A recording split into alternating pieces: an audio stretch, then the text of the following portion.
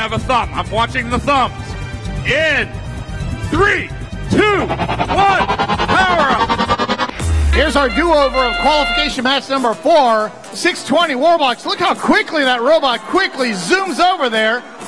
They're going to do this auto quest the hard way. They're in position, however, they don't place the cube.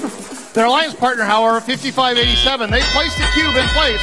All three red robots did an auto run, and they got the cube in. So Red Alliance walks away with an auto quest, one ranking point being added to their total.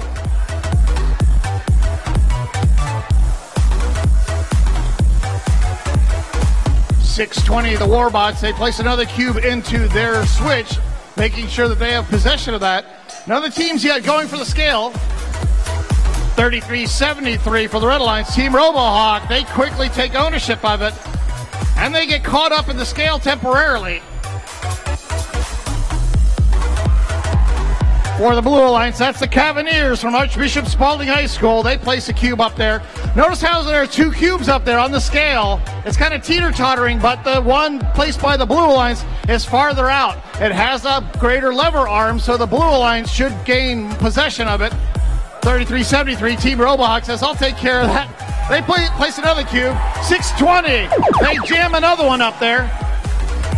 Red Alliance playing their levitate power up. They'll get a climb at the end of the match. Red Alliance now has firm ownership of that scale, three versus two cube. Blue Alliance now playing their levitate power up. Both alliances will get a free climb at the very end of the match. Red Alliance owning both the scale and the switch.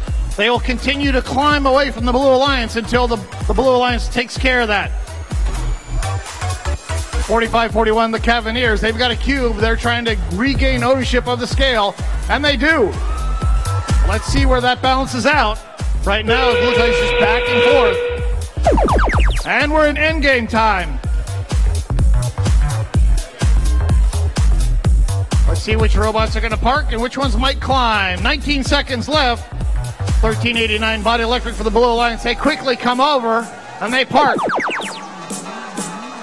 Blue Alliance, they play their force power up at the very end. Five seconds. Three, two, one. That's into qualification match number four. Red Alliance has two robots parked. Blue Alliance looks like they have at least one. I can't tell from this angle whether or not that second robot is parked.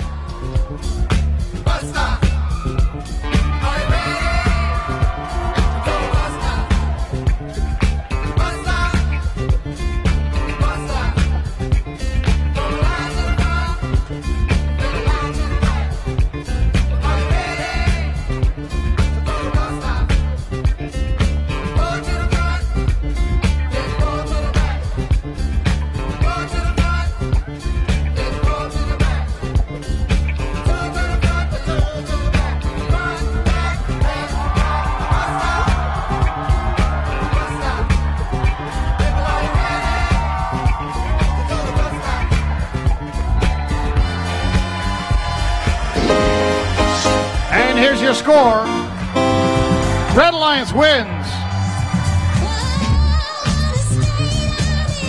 Blue Alliance, uh, correction, Red Alliance getting three rankings.